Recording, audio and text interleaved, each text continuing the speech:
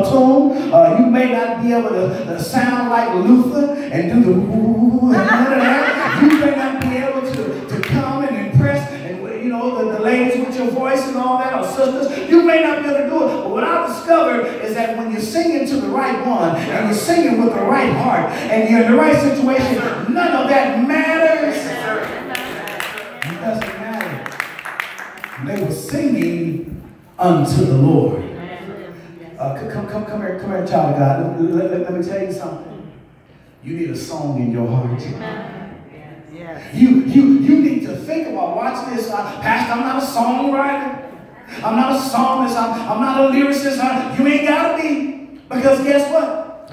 Your song may not be on the billboards, but your song is your song. And you got a song inside of you. And you know what your song is? Your song could be, He brought me from a mighty long way. Your song could be, He picked me up, turned me around, and placed my feet on solid ground. Your song might be, He saw me on Skid Row. He found me with needles in my arms. He found me sniffing and snorting drugs in my nose. He found me out in the streets. He found me doing wrong and had no intentions on doing right. He found here and he found me there. Maybe that's your song that the Lord found you and you ought to be grateful and you ought to be glad that the Lord found you. That's your song. And so if nothing else, sing that song unto the Lord. I've got a whole bunch of songs inside of me. My, I, I, I've got the If you will, of songs inside me. I got tons of songs. Why? Because he keeps on blessing me every day. He keeps on blessing me and blessing me and making a way out of no way and doing for me what no one else can do. I've got songs for days. And I'm going to sing my song unto the Lord.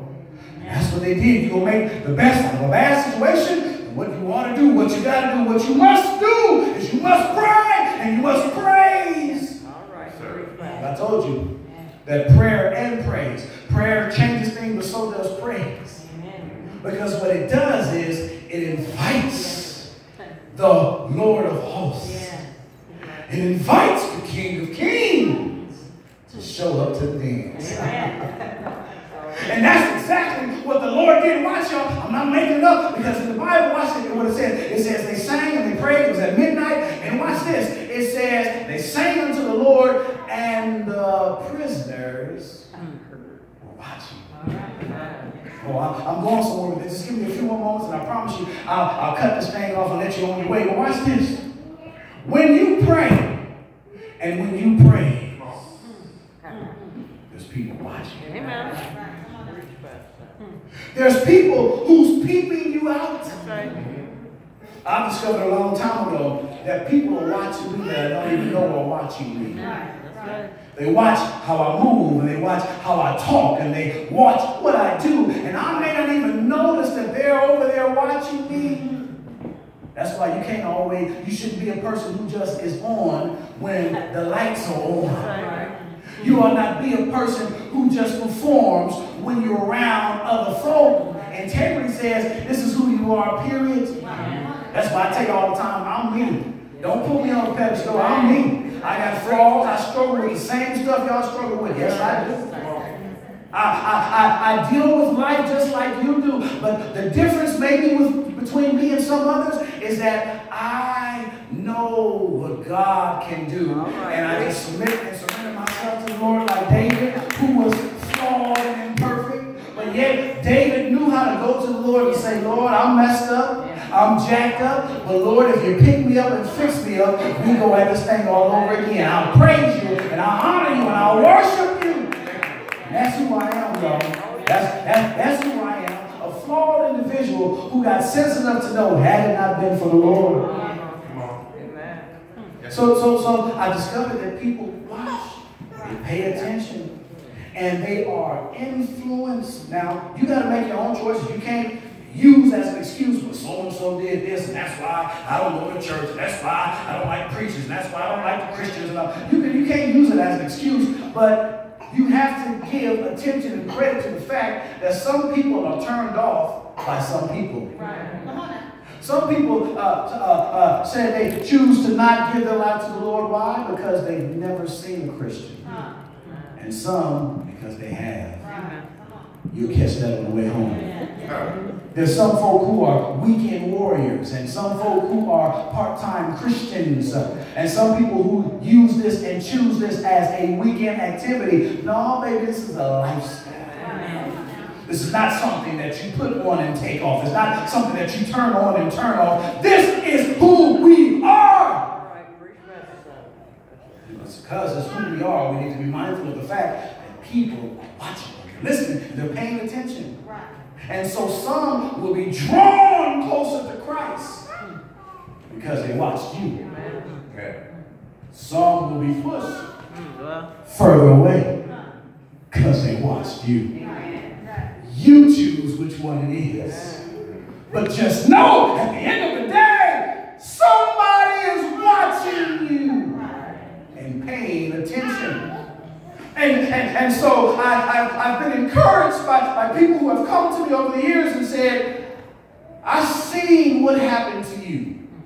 The, the, I, have heard how, how people have attacked you and, and said many mean things about you, but you didn't let that deter you.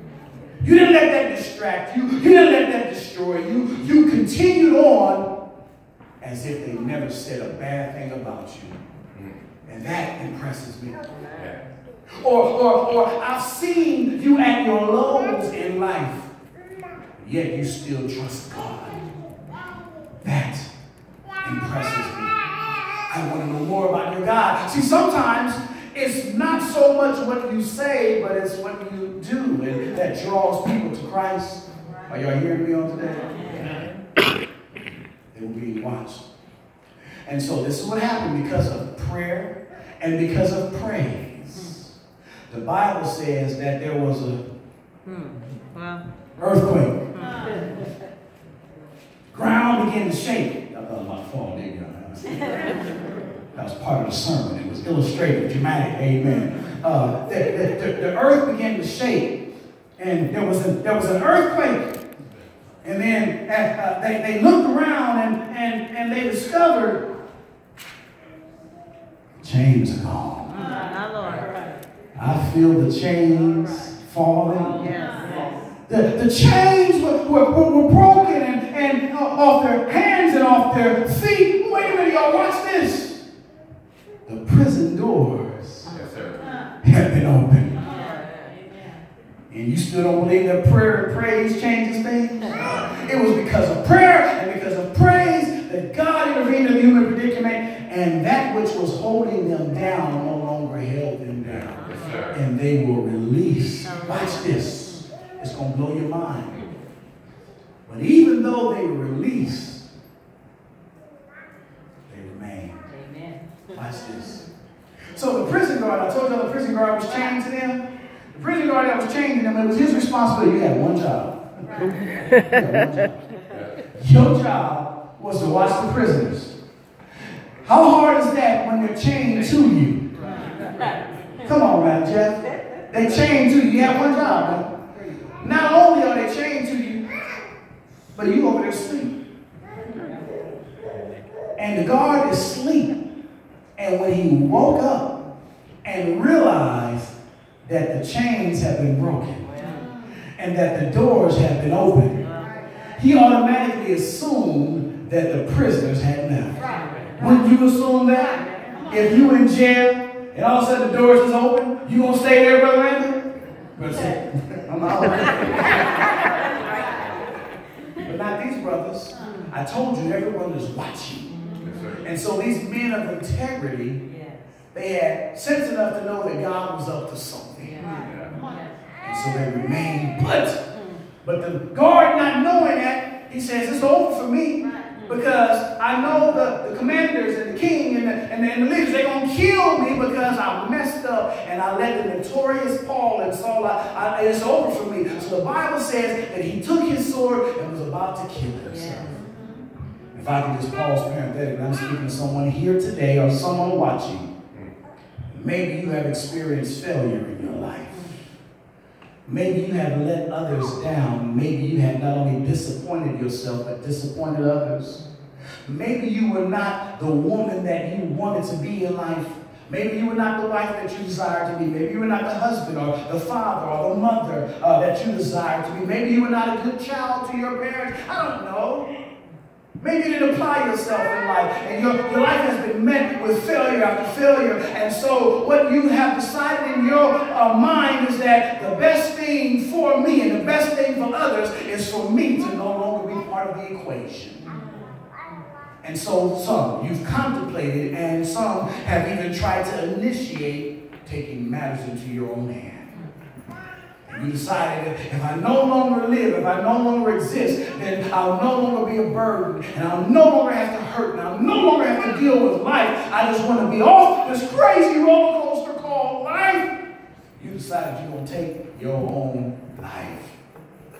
If I could just speak life into you, never make a permanent decision off of a temporary situation.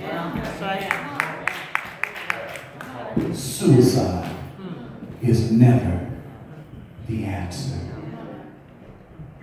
I know it may be dark in your life, and I know things may be bleak, and I know things may not be the way that you want them to be, and maybe you are destined and were sentenced to a life of physical and health challenges. This is your plot for the rest of your life. Ain't no cure for that. God, for whatever reason, has chosen not to heal you and deliver you. This is who you are for the rest of your life, your plot, your situation, whether it's health, whether it's relationship, whether it's finances, whatever. This is your life. And so you need to understand, my brothers and my sisters, that no matter how bad it is, suicide is not the answer. The enemy will get in your mind, get in your head, and try to make you feel as though that it is the best thing for you, and you want to just do it and be done with it. Don't you do it. That's what Paul told the jailer. He says, hey, man, hold up. I know it looks bad, but though it looks bad, it's not as bad as it looks.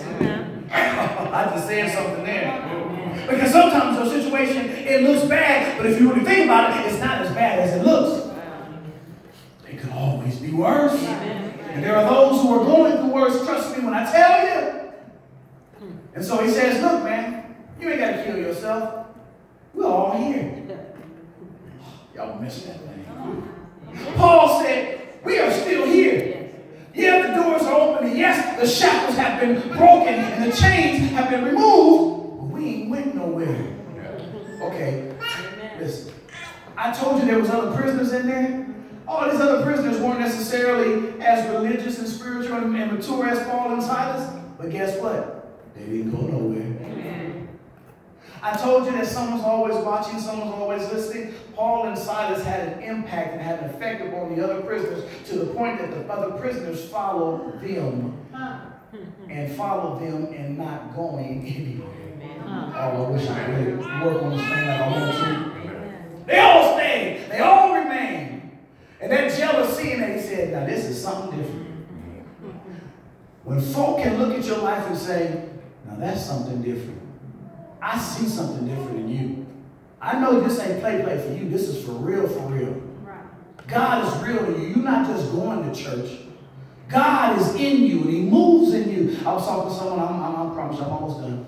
But I was talking to someone the other day, and they were asking some questions about, you know, how do you know if someone you know, is, is, is, is, taking you for a ride or not. You know, what if they what if they tell you this what you want to hear? I said, this is one of the things you can do. People can tell you anything because they may have motives. They may have something they're trying to get from you and glean from you. I said, this is how you tell.